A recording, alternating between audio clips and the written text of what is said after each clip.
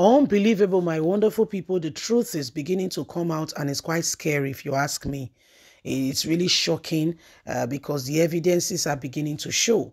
See reactions as Shehu Sani reveal that Kaduna Imam says they all got 10 million naira each to promote the same faith ticket so that none of them will speak against it. They told them, don't you want, you know, this place to be for us, that some persons pay them and guess what? The governor of Kaduna State is not far from the equation. You know him now, your brother, El Rufai, is in the midst of the whole equation as well, very much in the midst of the equation.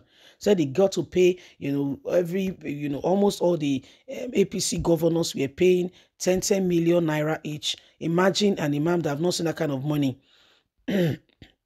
was given 10 million naira. Don't say anything about the same faith ticket. Just be quiet. Can you imagine that the president and the vice president of the same faith? Just imagine that, you know, we are the one in charge. And, you know, they, they all got 10 million naira each just to circumvent the will of the people, to put down the hand of the people. And guess what? When you do things like that, you think that you have quenched, questioned, you have quenched the voice of the majority. It's only a matter of time it will come crumbling. It takes time, you see.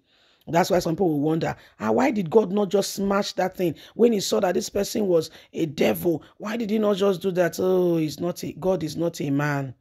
Men think that they are smart, that they are wise, that they have. Let's get all the details. But God is not a man. You see now. Reactions as Shehu Sani revealed that Kaduna Imam says they all got 10 million naira each to promote the same faith ticket. The senator from Kaduna State, Shehu Sani, has made a revelation from what he said he watched in a video. The senator said in a video, a prominent Islamic clergy in Kaduna State said that all imams of the mosque in the state, including himself, received a sum of 10 million naira each to propagate the promotion of same-faith ticket for the election that just took place. He said that the path the country is currently touring is dangerous. This is not my word, so said it's dangerous. Reacting to what he said, a Twitter user, Comrade, said, what Shehu Sani said is the revelation that he watched in an in he watched an entire sermon. Someone else said that religion is not what is taking a country to development and has and has it been it's with the way of religion like in China, Korea, what would have we wouldn't have been languishing in poverty. Another person said that what pastors from various parts of the country did by telling their members to vote for Peter Obi is it not the same thing? And the debate continue. Recall that Bola Ahmed Tinubu picked Kashim Shettima as his running mate, Christian leaders reacted as they said that Tinubu did not did not proactively think about fairness equality. Tinubu ran with the same faith ticket and won the election according to INEC declaration. So this is what is happening right about now, my people. And many people, many persons are of the opinion that what has happened is totally unnecessary, what has happened is totally unfair, and that it should not have been in, you know, it should not have been anything that Nigerians, you know, should be experiencing at all. You know why? Nigeria is a country that is, you know, predominantly we have not just one faith okay that is a predominant uh, mm-hmm. faith like you know somewhere like you know in the in the in the uh what's it called now in the eastern part of the world you know where we have like you say you are going to a place like a uh, like dubai abu dhabi you don't do you understand? It's a different ball game altogether. But in nigeria we have mixed then you come to nigeria and you try to make it look like you know this is really this is really not fair. So these are some of the things that have happened and nigerians are very very skeptical wondering what next will happen since these things you know have have now like you know allowed like a very serious issue going on. You know people are watching the world is watching to see how Nigerian government, you know, had are dealing with some of these things. They are watching. Everybody's watching. Everybody knows. Everybody knows. So it is a matter of urgent attention. Okay? It is a matter of urgent attention that we do what is needed and necessary to get Nigeria right back on track and save the course of what is going on today. If we continue to allow things to go without us saying anything really particular for truth, then there is issues. There are really issues. Okay, so we must all rise up to it and ensure that we do everything needed and necessary to change the course of what is going on here and now. Nigerians, don't forget, every time we neglect the opportunity for truth, every time we, we, we accept wrongdoing and we pretend that it's not happening, we have just given ourselves away. Yes, we have just given ourselves away.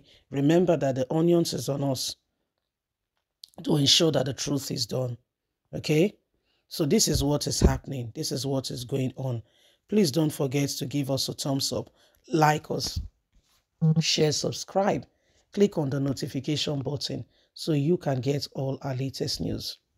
Remember, you have a voice. So let us speak out against everything and anything that could possibly put us behind. The nation is bleeding today because those that should take responsibility have not done so. What are you doing?